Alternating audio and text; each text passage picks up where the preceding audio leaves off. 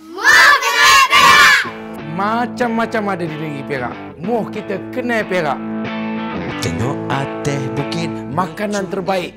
Durian yang paling sedap. Sungai, gunung, ganang, segala-galanya. Yang terbaik hanya di Perak. Saksikan Moh Kena Perak setiap hari Khamis jam 5.35 petang bermula daripada 3 September 2020 hanya di TV3.